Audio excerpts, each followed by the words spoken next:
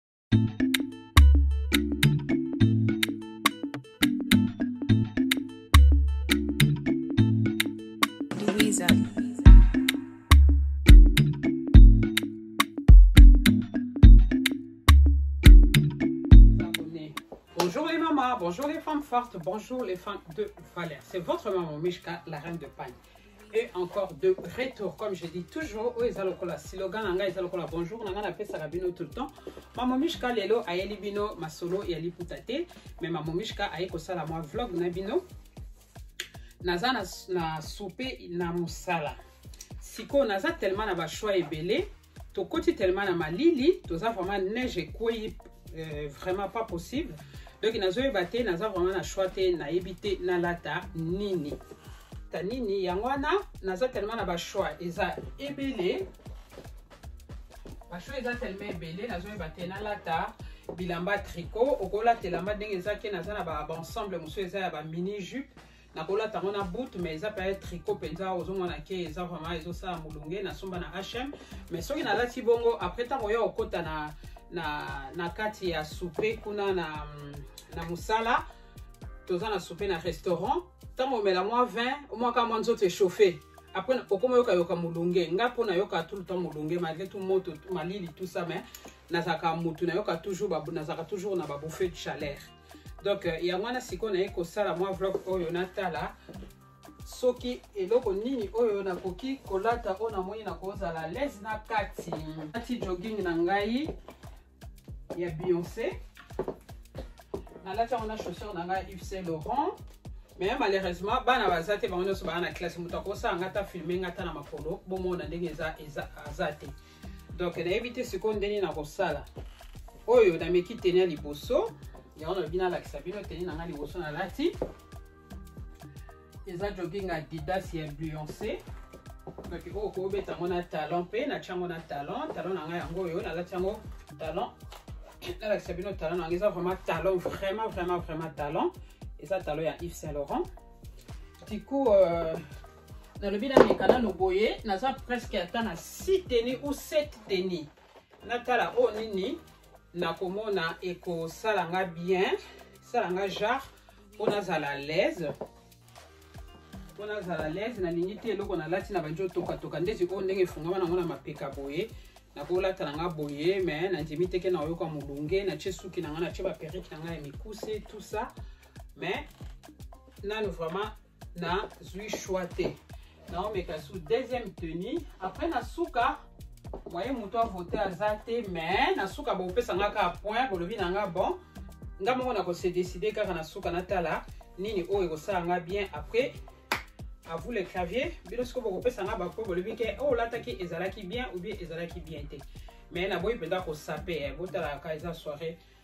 ya, ya, ya basupe wana ya, ba, ya misala wana bamindele wana bayeba mpenza koklasse te déjà ntango obeta boye jogging déjà na talon ta nde babanda otala nga na misu bizarre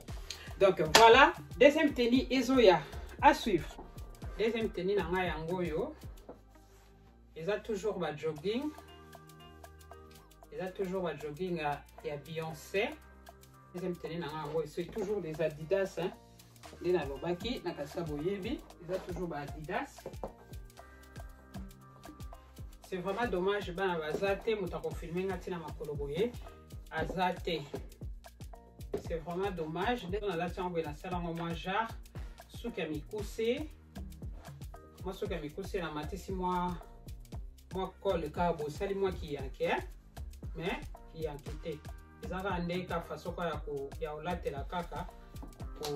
kosala kaka mwa genre esa lokola mwa ba comme les garçons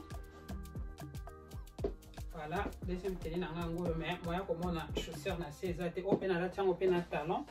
nalati yango mpe na talon mpe ya molai lisusu ya yves saint laurent donc voilà ça c'est ma deuxième teni donc euh,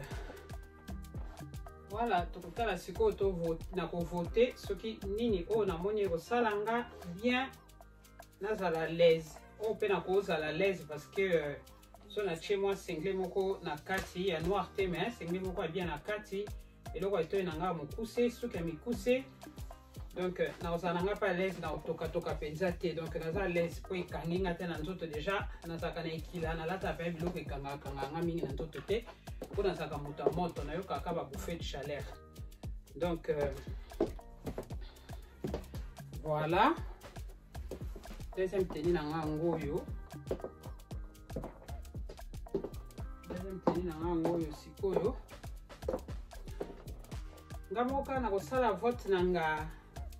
donc voilà naomekela bino lisusu troisième teni après na suka nde sikoyo boya komona teni oyo na se decidaki oyo nakolata na soupe na nga ya mosala lelo na restaurant na 20h30 nazomeka troisième teni na ngai voilà voilà voilà voilà voilà mamomish kala reine de panelela ça c'est ma troisième tenue ka nde nayebisaki bino nyonso eza ba jogging ya evi evi evi park toki ba adidas ya evi park ya ya beyonce donc nazomekameka natala oyo oh, wapi kosanga bien oyo oh, mpe eza la même chose oyo nalati on dirait na mwa mini botte moko boye esali mpe kaka lokola sandale donc voilà quatre talons donc troisième tenue na ngai yango oyo troisième tenue na ngai ya ngo oyo oyo mpe nakozala vraiment très à l'aise parce que euh, maboko eza nango ya kokwea lokola buka mapeka na olia na ngai à l'aise naomeka naolia à l'aise ata na meli vin ata natoki nayoka pa moi moto te parce que naotya ba batessage ya mikuse et puis euh, voilà libanda tellement ke malili eza ntango mpe na osisa so nabimi mpe sava nayoka mpe malili makasi te ti place ya restaurant yango ezali donc euh, choix nde mpenza eza te naobanga kolata biloko ya batriko triko triko parce que ntango bobanda kolia masolo koseka boyebi kaka ambiance te ya mosala nde ezalaka mwa soupe ya fin de l'année donc biso toza basoignante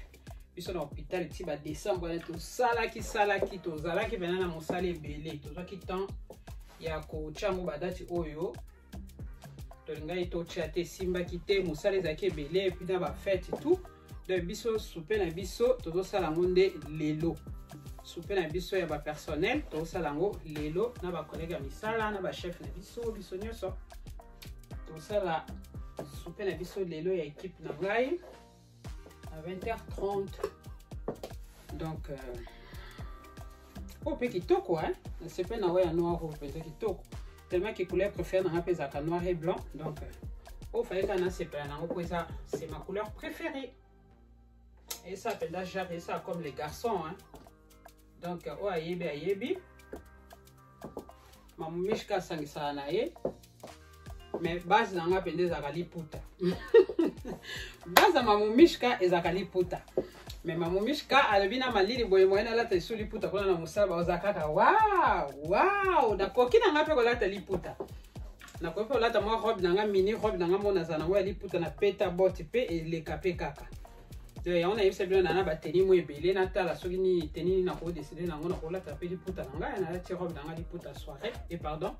ya, ya, ya liputa nalati yango na, na bote na ngai eleka nango mpe kaka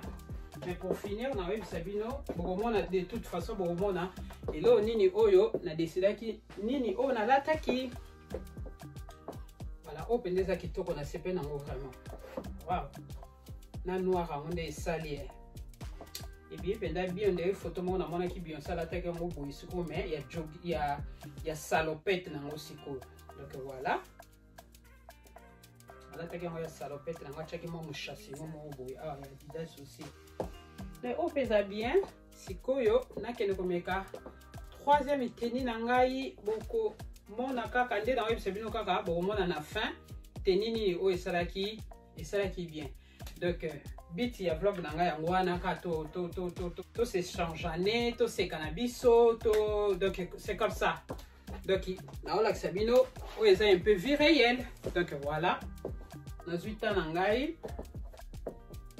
merci na bino nyonso baabone na ngai boo bozo kosabone toujours na mamomishka la reine de pane bozala desi te bozala toujours wana bozala toujours branché na okotisela bino bamidele ya sika ya maputa wana ekozala nde bakano ya bakano ezala bakano mamomishka alobaki aza kaka wana te kaka maputa maputa donc na balokotisaka badifférent badifférent video aire moko tokolamba aire moko eh, kote shopping aire moko kote eh, nettoyage na ndako aire moko ndenge nini obongisela bana ba chambre donc euh, ekobanda kozala ba divers ya ba biloko ebanda ozala ebele ebele na banda okotisa mais base na ngai ezali nini mamomishka la reine de pane topesa valeur na bateni na biso traditionnelle eh, liputa eza vraiment teni traditionnelle te so nalobi parce que biso na koko tozala na biso na eloko eza traditionnelle te pona pona biso na Congo liputa eza vraiment pona mikolo nyoso liputa eza pona mikolo nyoso ba mama akenda azando balata liputa ba mama bakenda ba biro balata maputa aza na ndako osala musala na liputa ake na matanga na liputa ake partout partout ake na hôpital liputa donc liputa wana yango nde ezala eza routine na biso ya congo donc depuis bokoko na biso na authenticité na biso donc eza ndenge wana yango nga bamomishika na ye na ngai na idéologie tozongisa ideologie na biso wana tozongisa bokoko na biso wana ya kolinga kolata liputa parceke liputa ebongisaka biso oyo tolati boye eza biloko ya mindele ya biloko ya mindele mai ezosala kaka mai soki ezalaki liputa bino moko boyanga bomona kaka ndenge elinga kobima yango ya momishka aye na ye na ideologie tolata liputa mai tosangisi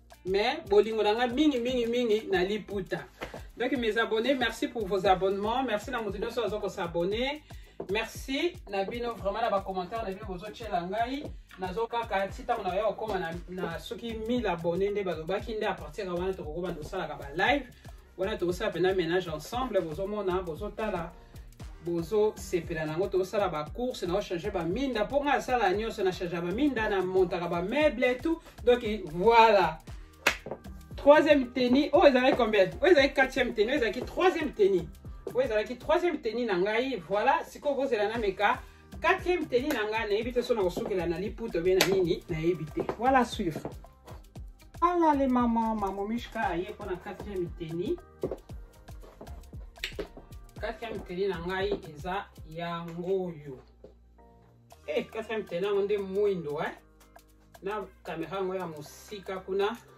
naoboya kopusana mpenza liboso ya kamera mpo bomona batashe nyonso ya elongi ya mamomishka nalatela yango na chaussure ya noire aussi ya yves saint laurent nalati mpenza ya molai vraiment chaussure na ngai ya molai ya yves saint laurent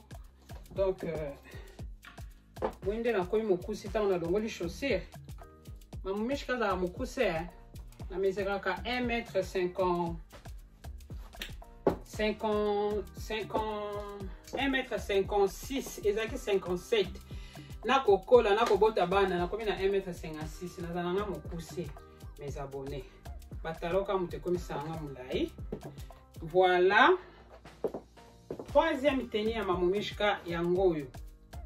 donc euh, eza pantalon moko ample mpenza ntina makolo ya tout noir eza euh, pantalon ya babenga yango nini tisi oyo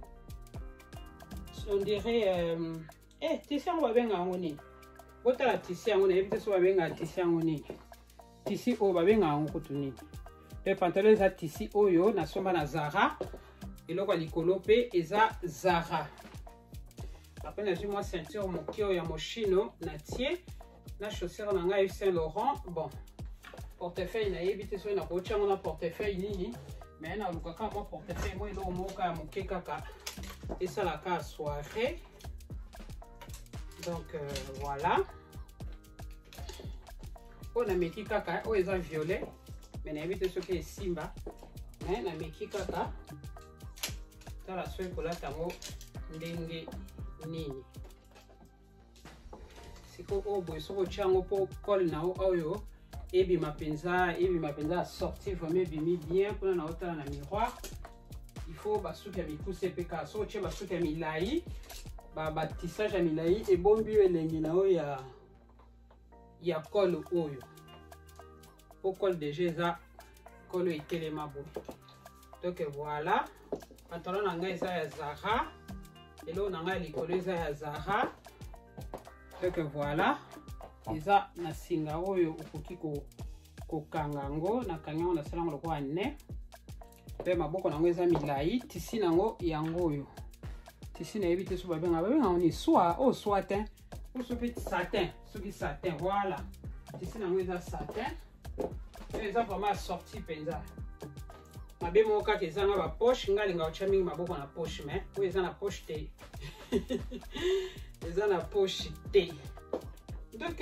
voilà quatrième tenue ya mamomishka la reine de pagne naomeka sikoyo troisième tenue à suivre merci voilà les mamans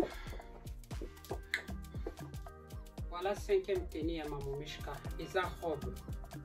he hey, nala problème hein. eza robe voilà alati yango boye eza robe na mini bote boye mais kandi na yo yebisa bino nazolela bana moye moto afilme nga mosika eza te donc eza robe ya mache longue peut-être nakokomisa yango mache courte parce que longue nango mpe mache nango mpenza eza milai nakoki kosala yango boye esala mwa style na mati yango boye mwa manche wana ezalaki eza roba ya zara eza nango baplise moko liboso boye eyaki na ceinture nango mai nalongoli ceinture nango nakangi ceinture na ngai mpe kaka ceinture oyo nasombi yango mpe kaka na zara epuis ceinture nango yango oyo ngai na bricola bricola ere moko na change achangeaka cole na yango na mama eza cole euh, lokola bacole mao eh? bacole ya likolo mai ezanga ceinture ezanga ezanga balasi wana okoki okangela siko ngai nazwi siko ceinture na yango yango nakangi awa omoni ceinture nango yango soki esengi ke nalata oyo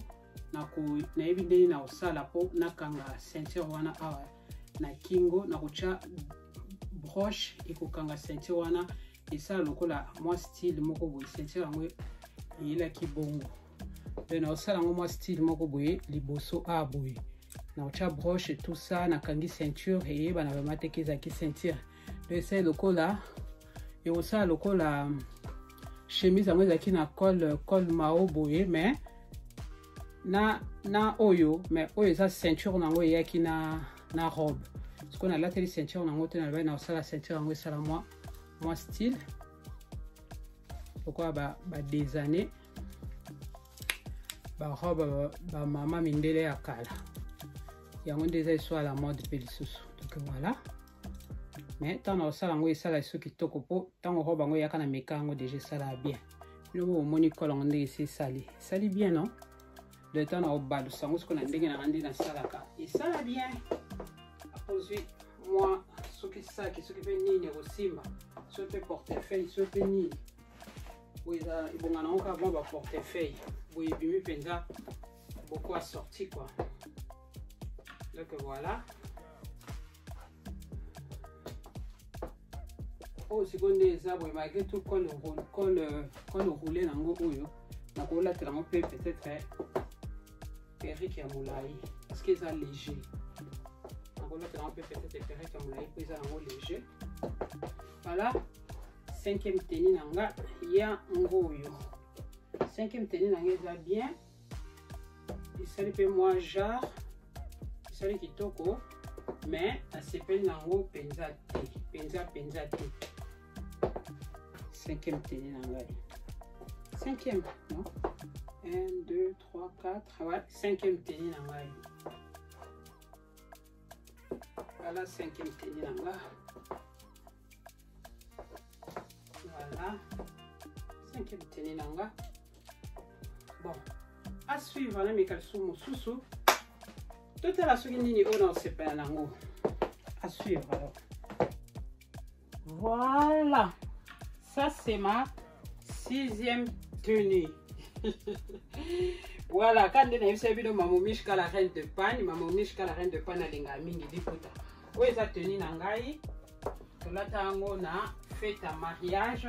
liputa oyo ndenge eza boye eza liputa donc nalata yango kaka boye nalata yango na buti ya cuissarde mpenza jusque awa me buti yango ya cuissarde ekokanga lisusu te so mpe na ye monene so mpe ndene na mabunda eh? awa ezokangama te donc biso tobenga awa mabunda na mabunda na bakwanga ezokangama te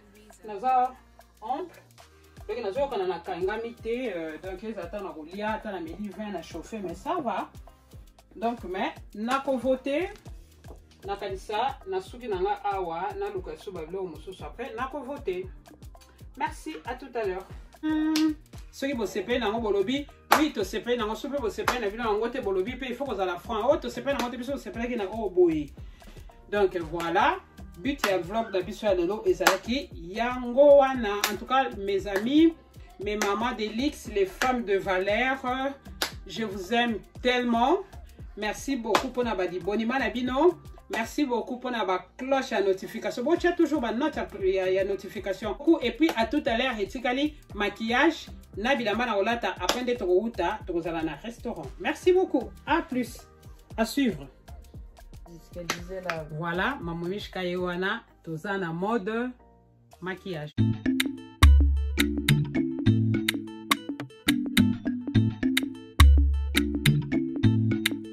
Louisa.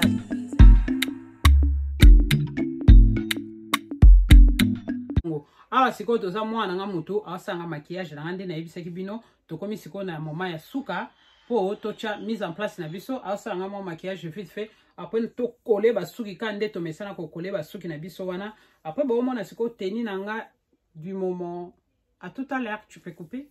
Baki, ndenge to solo laki, voilà maintenant, na komi na suka. Tenue na biso to ponaki yango yo, to ponaki tenue ya Adidas, ya Beyoncé, mais boye biango. boyebi yango eloko kuta oloba eza te voilà votre maman mishka la reine de panne elle est prête mpona kokende na soupe ya mosala donc ndenge nayebisaki bino na soupe ya mosala nazokende boye naza plus à l'aise malgré tokoseke kozala ambiance ekozala mais nakotoka mpenza te ndenge natokaka nayebi te so bolobi nini bosepeli na yango luka yango ou pas donc voilà chaussure na nga nalati na se eza sidi gucci sidi gucci oyo eza modele beyonce alakisaki biso ndenge nini tokoki kolatela servete na ye donc voilà Maman Mishka prête pour la route. Souhaitez-moi bonne fête. Et puis, vous aurez ma crevette. Kanaki. Maman Mishka, la reine de pagne, vous aime beaucoup. Merci pour votre abonnement à Bino. Merci na ndenge botali vidéo nanga. En tout cas, nzamba pambola bino na lingi bino mingi. Bocha ba like, bocha ba j'aime, bocha ba commentaire, bolo ba teni nini o bino bolingaki na o bolingaki te. Mais na che teni préféré oyo mwana nanga ponela kinga. ye wana moto afilmaka nga aza na nsima kamera donc yango wana na respecte ye nalati, nalati teni oyo oh, ye aponaki merci beaucoup toke kofete à suivre bonne soirée